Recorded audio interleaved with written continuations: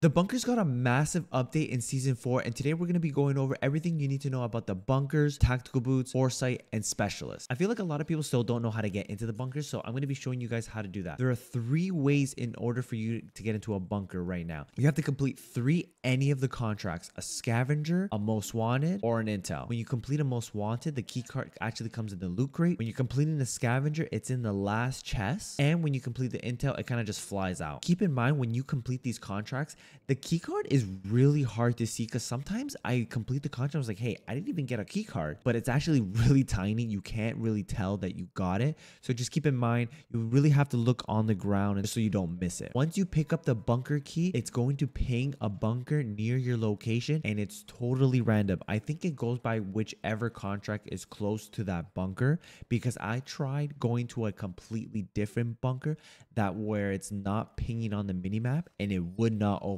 So you have to bring that key card to where the bunker is pinging on the minimap. There are 12 bunkers right now and they're all completely different. I'm going to put a map of every single location of the bunker right on your screen so you can get an idea of where these bunkers might be if you want to play around them. Guys, they're actually worth looting. There's so much loot, especially if you play as a team.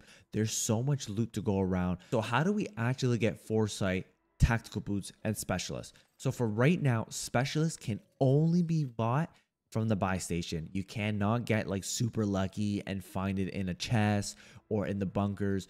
Right now, you can only get specialists from the buy station for $30,000. Now let's talk about foresight and tactical boots. Tactical boots can be found in bunkers, or if you get super lucky, you can actually find it in a chest around the map. But those are super rare because I played yesterday for like maybe a good five hours and then I played the next day for another five hours and I only found it once. So you have to get super lucky. If you actually find one, I would probably go buy a lottery ticket to be honest with you because that's actually super rare. So again, you can actually find the tac boots in the bunkers also. Now with Foresight can only be found in one of the 12 bunkers.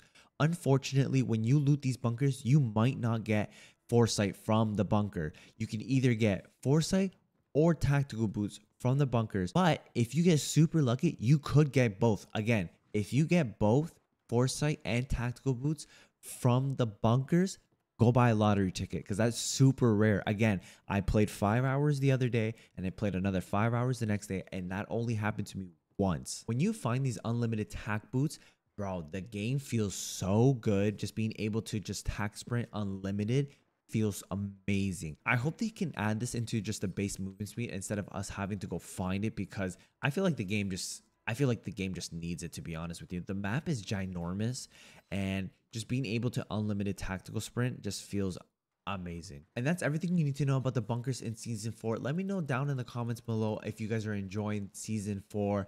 Uh, I'm excited to see what's coming up in for season reloaded. Hopefully we can reload. but I've been hearing a lot of good things about Season Reloaded. I think they're going to add some new POIs because I think that's exactly what we need. Um, I really like what they're doing in this season. A lot of quality of lives, uh, buy station locations, a lot of things they're doing really well. Um, I just feel like we just need that new POI to keep the game more fresh. Um, but let me know in the comments down below what you guys think. If you guys enjoyed the video, let me know if you guys need anything down in the comments below. Make sure you guys follow me if you guys want to see me on Twitch when I stream uh, Warzone. Just hit the link down below and follow me on Twitch. That's it. Peace.